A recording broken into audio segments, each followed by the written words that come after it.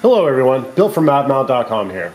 The MavMount allows you to upgrade your DJI Mavic drone with a tablet display like the iPad mini, the NVIDIA Shield, iPad Air, basically anything with a height between 2 and 11 inches in landscape mode. I realize that some people don't know this is even possible right out of the box with this awesome drone, so let me show you how it works. Now here's how you typically set the Mavic up. All right, you open this up, small cord goes here, you go down to this hole, you put it in through this piece here, and then uh, they expect you to slide this and use your phone in here. You clamp the cell phone up and use that display. As you can see, uh, the clamp for me presses my button, so it doesn't really work for me. But for other various reasons like the small screen, the inability to use an effective sunshade, uh, my cell phone gets interruptions like texts, uh, you know, and it's already doing a lot.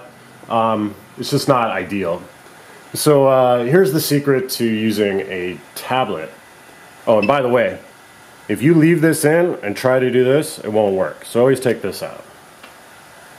So down here on the side of the controller, there's a traditional USB port that allows a feed to a larger tablet.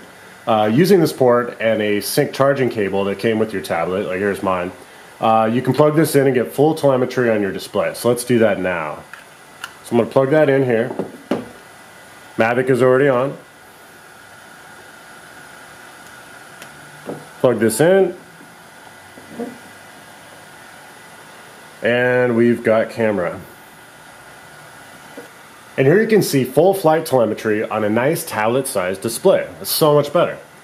So this rig creates basically the same professional display setup that I've been using on my Inspire 1 and uh, millions of people have been using on the Phantom Drone series for years. So now you can jam the tablet in here. If you pull this out hard enough and you can get it into there and you uh, uninstall that, you can jam it. Um, but that's stressing the clamps. Uh, it's not made for that and it shows. Um, you end up having the display below, this, below the uh, controller, which is a lot like having your dashboard below your uh, steering wheel. Um, it's unintuitive. So, in my professional opinion, the only way that you'll get great shots is a larger display, and a proper sunshade helps tremendously for proper exposure. Uh, so this is what you need, a tablet adapter like I've made here, which I call the MavMount. It's a full CNC 6061 billet aluminum aviation grade plate with an aluminum ball head adapter and a heavy duty clamp. So let me show you how easy it is. You place the MavMount right where the cell phone would go. Clamp it on. Place your tablet into the clamp.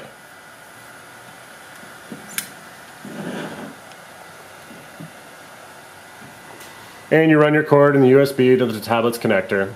Um, I use a 12 inch cord that I got on Amazon. Now I've also got some uh, slots here that you can run through, so we can do that.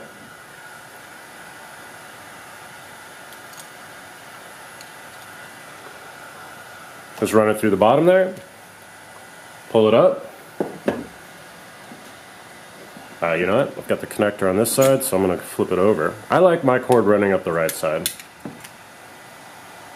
There we go. Plug it back in. As you can see, you can do a hot swap.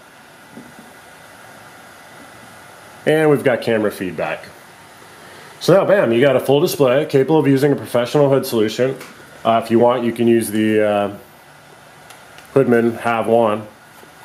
I uh, I used this guy on hundreds of professional uh, flights with the Inspire One, and basically the whole reason I made this this system was to be able to use uh, you know setup like the Inspire has, because uh, honestly, that's the professional way you want to go. So you're not using an awkward setup with a cell phone or tablet with a low controller, and you're not fighting to get your hands around it. Um, it's correctly balanced. It'll sit here on a table. Um, it sits nicely in your hand.